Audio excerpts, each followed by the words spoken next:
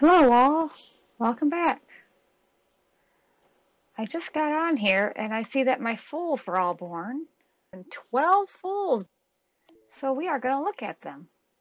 I've missed all of their birth heights, but they did an update recently that um, let you see what their birth height was. Oh, he's got blue eyes. That's nice. And let's see his information here. 1016. And 6-6 personality. He's a little bit low, uh, kind of in the center here on the on the lazy energy, but I, am not going to complain. It's still above 50%, so we're we're doing good. That is a good start. And it's a colt. Let's see how tall. This is how you can find out how tall they were when they were born. Down here under the, the info that you can click on, you know, where you can mount, place, edit, whatever, the title and everything. And you have your breed info history. Up here, they have added what they call zero year old. And that is what you would click on, and it will tell you exactly what your foal was born at. at this one was born at 10.2 hands and 109 centimeters. Let's place him and have a good look at him. He's cute. He's already 11 hands. Let's, let's see what it says on how tall him he might be as an adult. Now you have the four-year-old one, but that one you, doesn't really do much, and I'll show you why until after they're four.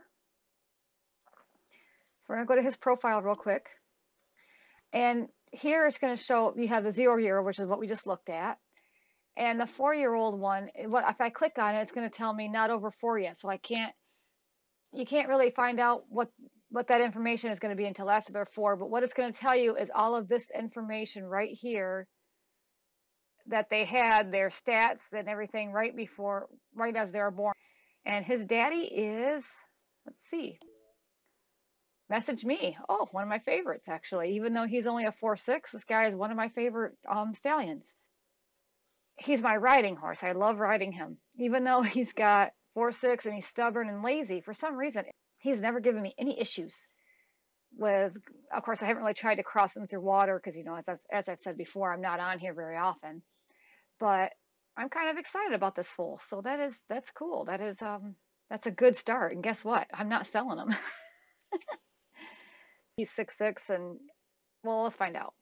Point two at 109 I'm gonna guess he's gonna be 17.1 hands. I have I have this feeling. I'm gonna go back to my horses here and we're gonna go on to the rest of them. so we have a sprinter type filly thoroughbred. And this one is a 6'6. She's 54% follower, which what I'm looking at is her um, information right here, the 1310. Let's see what she is compared to her parents. Now here's her mother, Blazing Girl and I believe she's at 1310 too. So she's the, her foal is the exact same um, base stat as she is. I, this is the same stallion that I bred the last time and got that nice tall foal from. Maybe she's giving me white foals because he's a cremello. But um, see, he's at 13, 18 is what he has when he was uh, yeah, when he was born. Let's see what he was a, as a four-year-old. This is his information. That's what we just talked about a minute ago. That shows what his speed and everything was at the age of four. They tend to um, lose lose that information as they age. This guy's 20 years old now, but it'll say here that you know at four year that with only genetics accounted, all experience etc. are discounted. These charts are good for comparing the basic genetic compatibility between horses. Natural genetic mane and tail shown as well, because they have that where you can change the style of their hair, like I did the, the uh, mother. That is that. So you know, she's the foal that she's got. It's a good thing. It's she's um the exact same as her mother. She's got a lot more speed than her mother did, I believe. Let's see her information here. We're going to look at the her genetic stats here because I would really like to someday get into competition. I still like to I still like to try the courses and stuff, so that's kind of why I started with the thoroughbreds and she's probably going to be pretty tall, hopefully like her sister. Um, let me show you her sister a minute. Who see she's at 1286 when she was born, but see how she's maxed out at, or she's maxed height at 17.3 hands. She's got a little bit better um, genetic stats than her sister, but her, it looks like her sister has a hair bit um, better personality. This is her full sister. I thought for sure I might get a Palomino on them, but they apparently want to give me white foals, which is fine. So that is um, the filly that was born. And let's see what she was at when she was born. 10.1 hands at 107 centimeters. She's probably going to be around, be about 17 hands possibly as an adult. Um, so she's going to be a little bit smaller than her sister, but we'll see how that turns out. Next foal is Sun Chaser's foal. Now, Sun Chaser tends to give me a lot of brindle, which is I which is what I like. Um, this one has obviously blue eyes, and I love the little blaze on her. And she's got some nice markings. I believe she looks just like her sister, actually, that I had. Her mother is Chev's Sun Chaser, that I thought was the neatest coloring of the Brindle Grula Pearl. Gary I think I've only bred her a few times, and she has given me a brindle full each and every time, which is awesome. Um, and if you want to see the sire, Utah NM Texas, this is the sire of our filly. So far, they're pretty good. They're not terrible. Wow, that is interesting. I got a white Iberian warm blood filly out of um, an Andalusian and a grade, which this is her mother. She's another one of my favorites. I like I like her color. I, I changed her mane to look white. That's why I kind of like her so much because of the way I decorated her, so to speak. But her dad is actually a grade horse. It looks like a Friesian or Andalusian rather. He's 15.3 hands, whereas um, Doll is 16 hands. So my guess, without even looking at her zero year old um, that means that she was born at like 9.3, which is very, this here is the most common I have in my Andalusians. They're usually like, like I said, 9.2, 9.3 hands. Um, and they're usually about 100 centimeters. So yeah, they're, she's going to be about 15.3 when she becomes an adult. It's kind of disappointing, but it's, it's expected. It happens all the time with my horses. Um, let's see who's next. Fred's Muse. It's an ebony filly and a liar. Decent personality. She has the Voro gene. Yeah, Desert Fall is her daddy. One of my favorite Andalusian stallions. Linebacked Voronea. The Voro gene, as I call it. But I'm probably not going to keep her. Not a fan of ebony.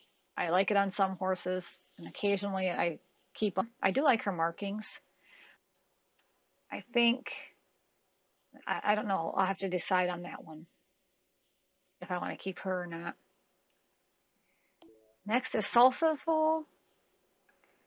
This is another filly. She's got a cute little snip on her nose.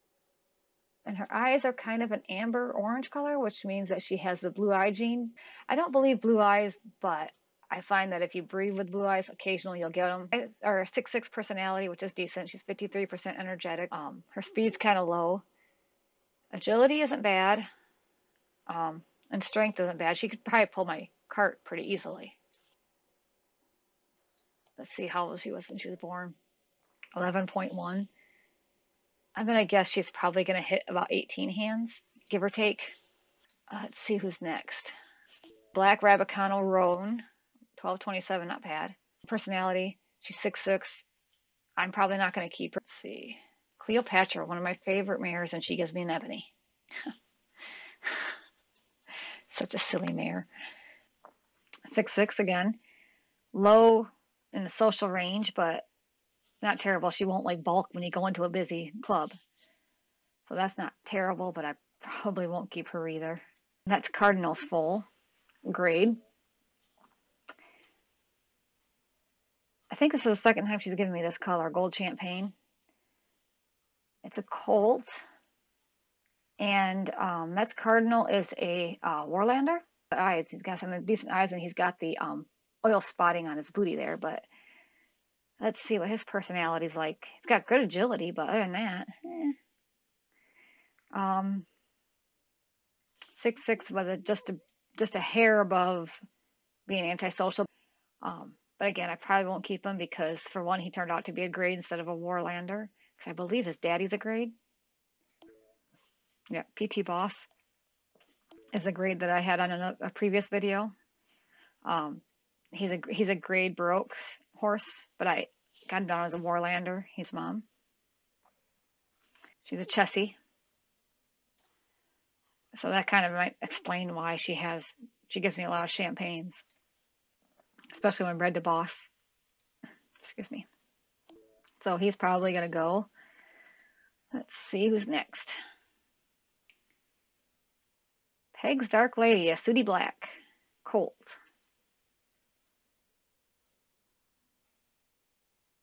And he's a no. He's ornery. Definitely not keeping him. Let's see. I'll probably just trade her. Okay, so I got a cute little foal out of Color Me Pretty. You know? But I bought her because I liked her coloring. She was kind of unusual looking. She's only 15.3 hands. She's an Iberian warmblood. I saw her at auction, and she was an impulse buy. That's why I call it imp buy, um, because I, of her coloring. And I actually had a small bidding war for her. I think I paid around 12,000 gold dust. Let's let's get a closer look. Free Fall is it's Daddy.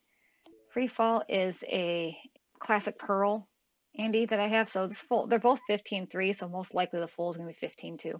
Just kind of throwing that out there, which is unfortunate. It's a sable champagne dun. I'll probably list him at auction. He's got the metallic coat that I'd hoped he would get from his mother. 953 genetics. So I don't think he'll sell very well at auction, but I might list him anyway just to see. Maybe somebody wants him for his color like I wanted his mother. He's got a decent personality, so that might interest people, but it's hard to say what people are looking for. And I believe next is Ephandas Reza's Foal. Another sooty ebony, very, very, very common. Decent personality, but tiny itty bitty. Tiny itty bitty white star there. It'll be buried by his forelock when he's grown. Let's first look at his parents. Dark Peg's Flight, he's a Friesian one of my favorites. He's got decent stats, but he's only 16.3. As you can see here, I put this game is so cruel, almost perfect everything, only mature at 16.3. Why? Because the game's mean to me. Get a closer look at his mama. Ephandas Reza. She's a Friesian also. Grade Baroque on here, but I actually certified her as an FHA, which is my certification, so that she could be considered a Friesian. I certified her as such. I liked her because of her metallic coat, and it apparently it has not helped with this cold. Um, I'll breed the pair again, and I'll bet I'll get a Voro next time, but I'm not going to hold my breath, and it'll probably be a filly. This will be a test for all you guys out there. That'll we'll see. I'll breed that pair again here soon, and we'll see if the next foal is a Voro and if it's a filly. See if I'm right. Just just fun, just cause. We're gonna look at this one more time at this cute foal that I'm not selling with his blue eyes. I gotta think of a really good name. In fact, how about you all help me with that? You give me a name that you think he should be named, and we will. I will go through them and choose one of those names. Let me know what you think. Post a comment in the comments if you like this video. Hit subscribe and hit that like button so you can get some more notifications when I add more. I look forward to hearing from you again real soon. Thanks for watching.